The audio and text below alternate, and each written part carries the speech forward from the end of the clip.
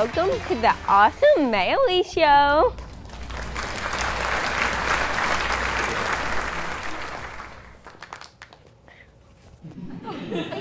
I said I wanted to do the Ellen show, but maybe she can book me after Dancing with the Stars.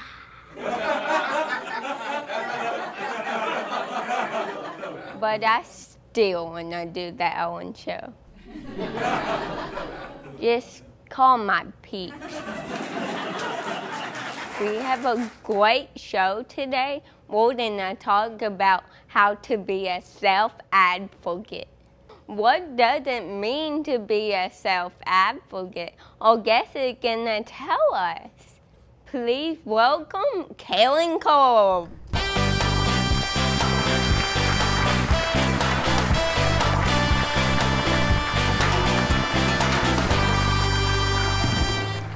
Welcome to the show, Karin. Mary, it's such a pleasure to be on your show. Let's get to the chase. What does it mean to be a self advocate? What is self advocacy? So let's break up that phrase. So you have the word self and you have the word advocacy. So self is you, yourself, inside, your body, your mind, your spirit, how you think, your identifier.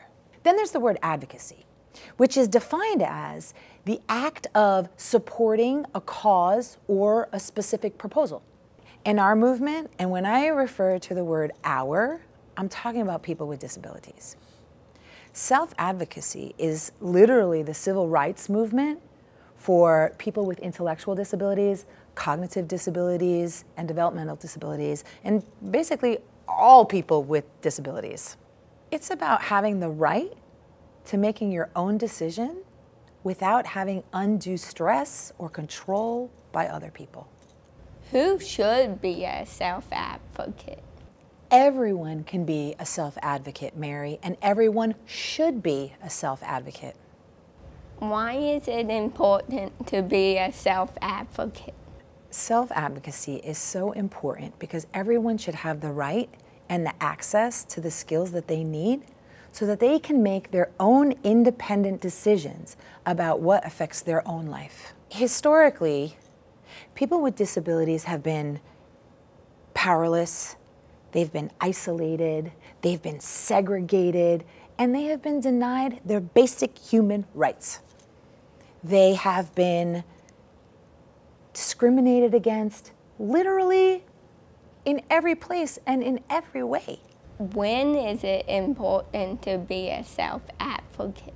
There are so many situations where self advocacy is important for people with disabilities. Where you wish to live, your educational process, your IEP, which is your individualized education program, right? Your voting rights, when you go to the doctor's office and maybe the doctor, he or she, is not listening to what you want about yourself there's going to be times when you are going to be your best self advocate when you are trying to get a job, or perhaps when you are trying to get some time off from your work to go to an appointment. And then there's going to be times when you're going to be the best self advocate when someone's bullying you. And the list goes on and on and on and on. So, how should we start? What should our first step be? It is all about getting those skills. There are many organizations that you can reach out to that can give you those skills. So the first one I would recommend is the SABE organization, which is, you can look at them up on their website, is www.sabeusa.org. Now, SABE stands for Self Advocates Becoming Empowered. That's the first organization. Then you also have NCIL, which stands for the National Center on Independent Living. And their website is www.ncil.org. And any one of those organizations, they also have local chapters. So when you reach out to the national organization, you can get information about where the local chapter is in your area to get these levels of empowerment.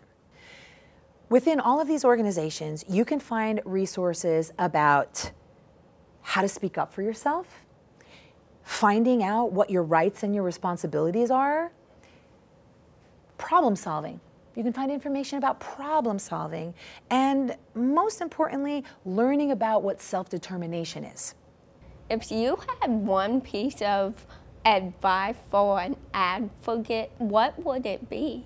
You know, my one piece of advice would be to remind you and to keep reminding you that you have the power to direct your own life. Thank you for talking to us today. It's my pleasure. Karin Korb, everybody. We're out of time at the Awesome Mary Show. We'll see you soon.